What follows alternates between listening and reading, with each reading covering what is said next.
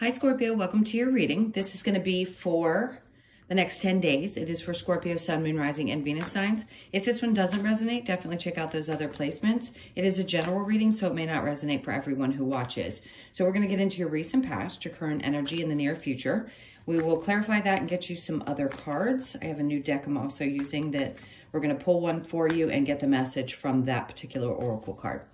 So um, if you are returning, welcome back. Thank you guys for all of your support. If you're new, welcome. I do hope if you enjoy the messages, you'll consider subscribing. And if you would like a personal reading, that information's in the description box below or the about section of my channel.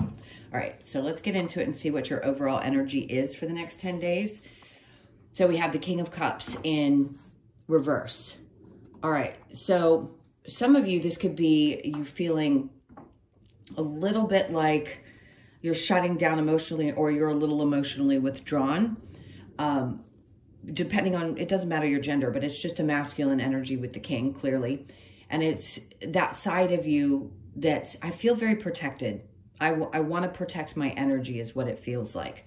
So let's see what comes out. In the recent past, uh, this is a good sign because you're protecting your mental health you're finally getting to a place where you feel a little bit clearer mentally and you're getting to the other side of something that's been on your mind or had been challenging you for some time. And I can see why you'd be doing that.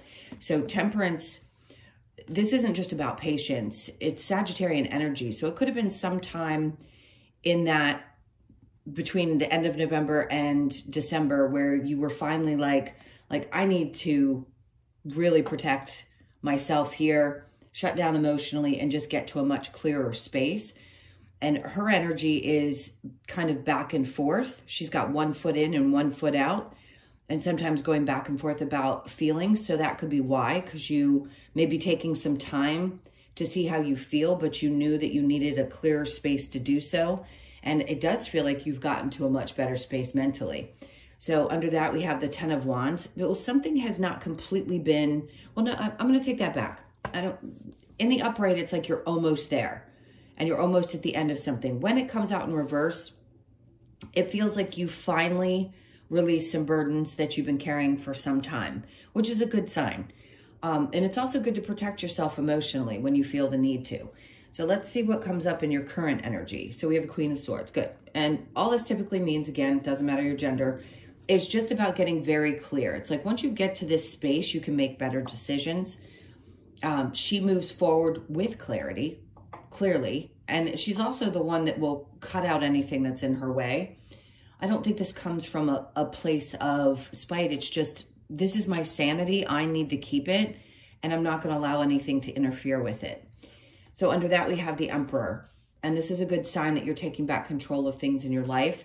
I don't really feel like it's somebody else's energy.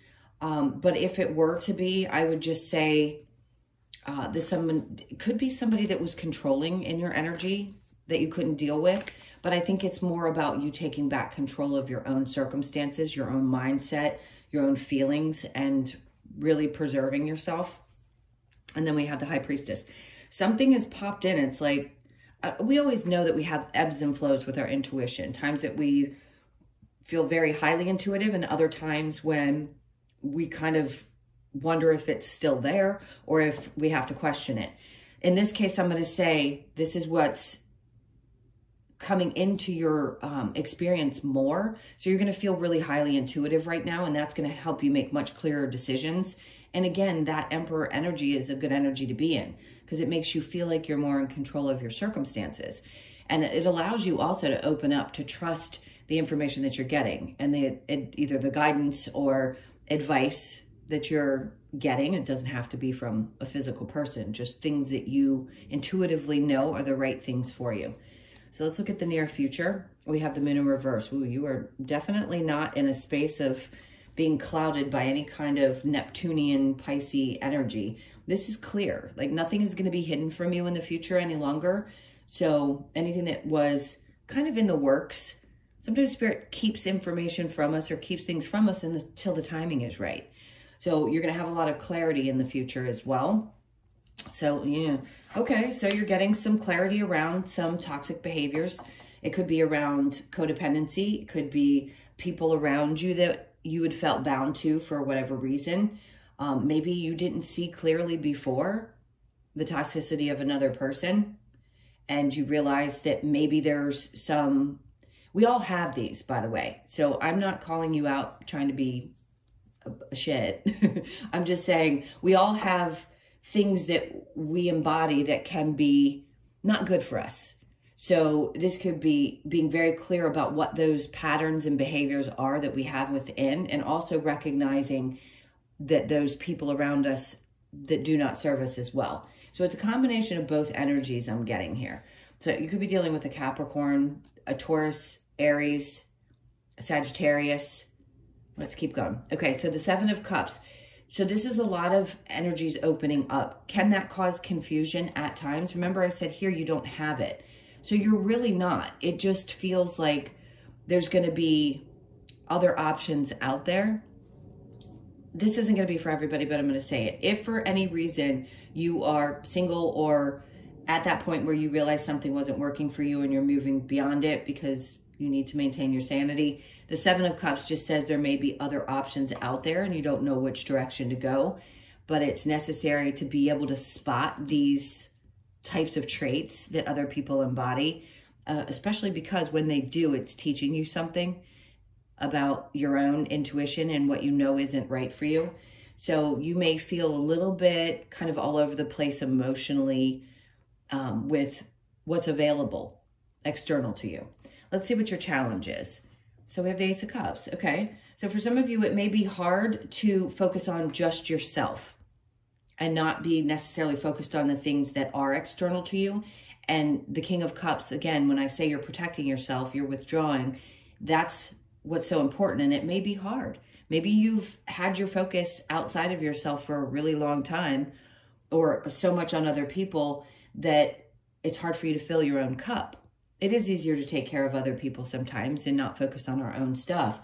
But that challenge is just a slight challenge.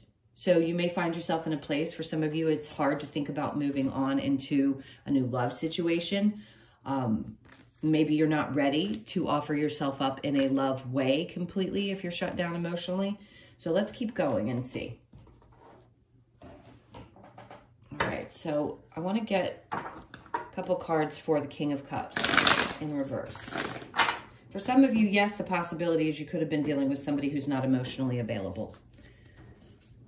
All right, so the Wheel of Fortune. Something definitely did not work out or you feel like there's been some stop to the things that you hoped had worked out. And that could be why you're withdrawing. And then we have the Five of Wands in reverse. So a lot of you, it's just because you don't want to deal with drama. And that makes perfect sense. It's also because you don't want to repeat old lessons. And the Eight of swords is coming out. Okay, so some of you, there was some time where you needed to take a step back, shut down emotionally because you felt a little bit stuck. And that's why you're doing what you're doing.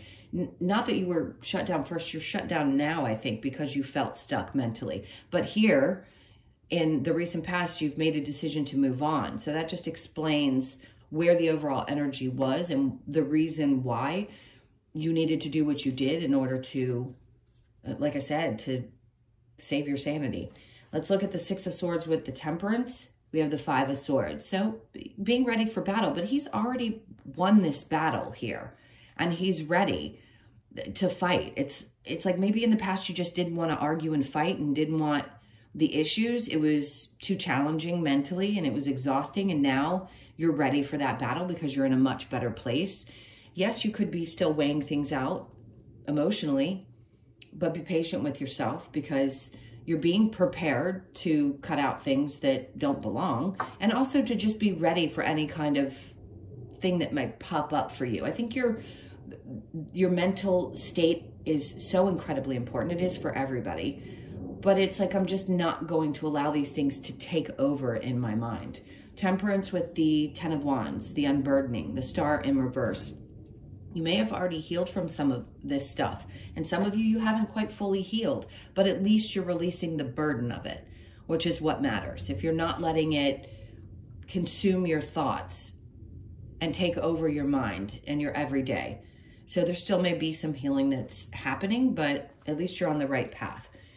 The Queen of Swords with the Emperor, we have lovers in reverse. Okay, yes, for some of you, this is the end of a relationship or the end of something to do with how you operate in relationships.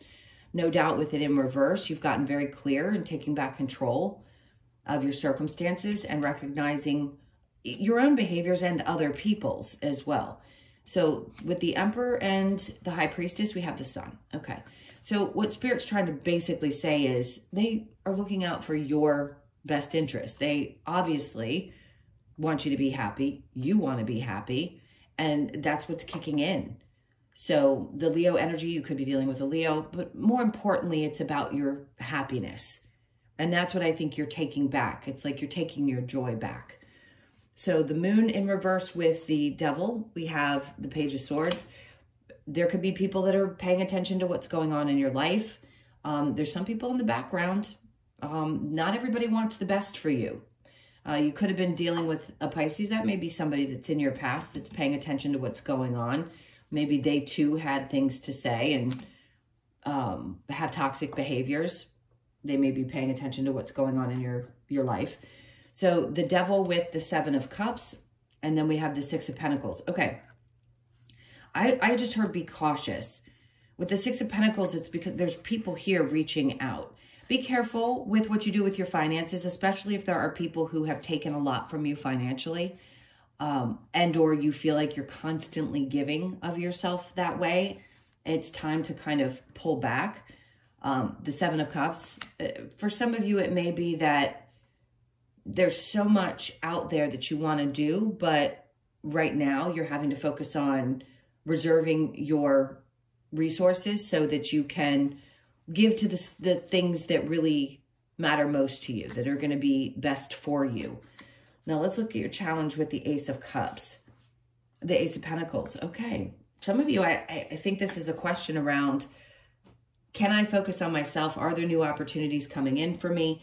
Can I believe that this is the right way to go. It is. You've got to refill your cup. You can't be good for anybody in your life if you're not fully happy and emotionally in that great place and that you don't take care of you first.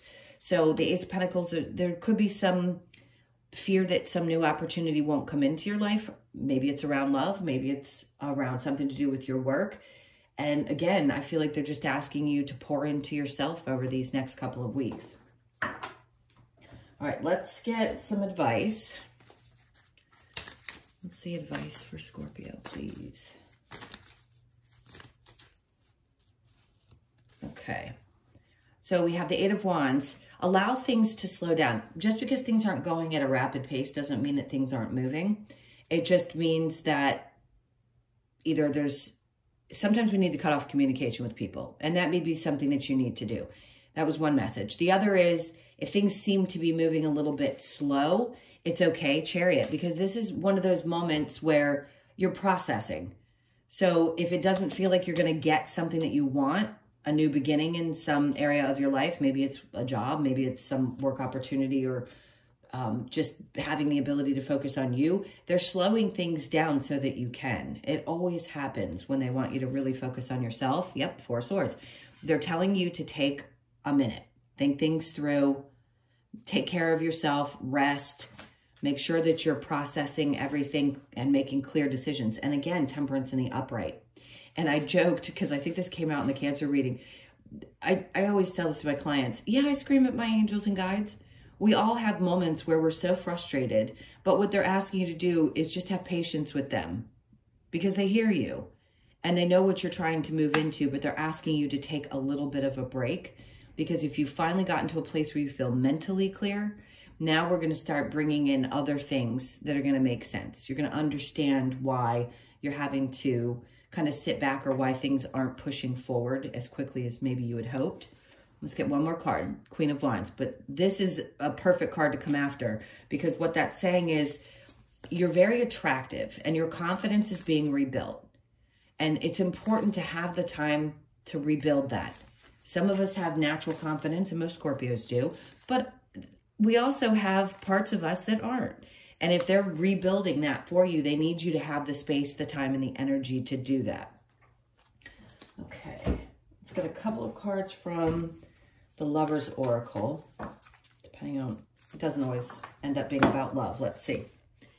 Freedom, there's nothing stopping you. The path is clear if you want it to be. So just because we don't know exactly where that path is going doesn't mean that it isn't clear. Sometimes we just have to understand that something doesn't work and we have to open up to the new possibilities. Let's see what's next. Wait, don't rush into it. Allow nature to take its course. Okay. Some things, again, take time. And then a message for you. I'm thinking of you this very moment. Your love fills me with light. I love you. Whoever that was that popped into your head when I read that message. Soulmate, your soulmate is already with you in spirit. Believe this and they will manifest physically. So as I always say, we have a ton of soulmates. But if you're thinking about somebody specific and there's somebody you're deeply connected to, that person is probably always sending you love. They always will. Because regardless of what your experience was with them here, they're part of your soul family. All right, so let's get a couple of cards from the Wisdom of the Oracle, and then I'm going to pull one of the cards from Nature's Compass. This was a pretty quick reading. I think it's pretty to the point. All right, we have...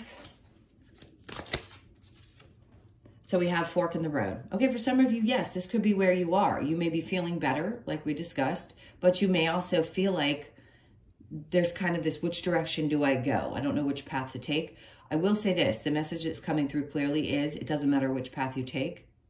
Both are going to be absolutely fine. We do have free will. So you could be born on the 13th, the 1st, the 3rd, or the 4th of the month, and then regeneration. So this is what's happening, and we're regenerating for long periods of time. I'm sure some of you are exhausted with hearing that you're regenerating, but this is truly what's happening. So this could be a, a current experience for some of you. You could be 46, born on the 4th, the 6th, or the 10th of the month. That's about new beginnings the Ten of Wands was in reverse. So you're releasing some burdens and something new. So a part of you with that Queen of Wands is regenerating. That confidence is returning. Something is, you're going to be more attractive if you want to be to other people. There's just going to be a lot drawn to you now because you've gotten pretty clear and things have started to balance out and you're protecting your energy. And then breathe, which we all have to do at times. Sometimes we have to be reminded if you're not taking a couple minutes to just breathe throughout the day, please try to over these next 10 days. Um, as I mentioned before, and I'll repeat again, as we get into this Pluto transit, we are 10 days in a working. It shifts on the 20th. So some of you may feel a, a, need to just kind of do a little more meditating or breathing or whatever it is that relaxes you. You could be 29, born on the 2nd, the 9th, or the 11th. And then we have exchanging gifts I, I say this, but not everybody has an animal. There's truly unconditional love. And I feel like Spirit's always trying to say there's tons of unconditional love for you. And that's a gift. The gift is to give to others and have them give to you unconditionally. So you could be 27, born on the 2nd, the 7th, or the 9th, or the 27th of the month as well. Okay, let's see. I have this new deck and I keep saying I'm going to put it in the description box. I forgot to do so, but I will add it so that everybody can take a peek at it if you do buy your own cards because they're absolutely stunning and the messages are really beautiful. It is a client that I worked with that made them and I love them. Okay, so your card is the Cane Toad, number 19, Beautiful Change. I love that message. So I'm going to get to that in the book and read you the message because I haven't memorized them all just yet. Okay, so the cane toad, again, number 19, beautiful change. The message is the cane toad is here to remind us that we all have an inner beauty regardless of the outer image, often finding ourselves in toxic and poisonous relationships because we have disconnected from our own inner beauty. Interesting. We were talking about that in the reading. Cane Toad allows us, or hold on, I can't really see it. My glasses are bad. And the writing is small. Cane Toad shows us we can magically transform our current situation and create the beautiful change we desire. We are invited to see our inner beauty and rid ourselves of toxic people. Oh my God, that's exactly what we talked about. Places and things that don't allow our true inner beauty to shine. This card asks you to transform through your own metamorphosis and create the beautiful changes you have been wanting. So the key words are metamorphosis, change, and expose your inner beauty. That's what I said about the Queen of Wands. That is your inner beauty. That is you showing up um, as that confident, amazing person that you are. So, and I think that speaks volumes as to what we got in the, the reading itself, and that just kind of brought it all together. So thank you for being here. Those are your messages. I'm sending you guys a ton of love. I hope you have an amazing 10 days. And it again, if you'd like a personal reading, the information's in the description box below or the about section of my channel. As I said, have an amazing 10 days, and I will see you guys in the next one. Lots of love. Take care.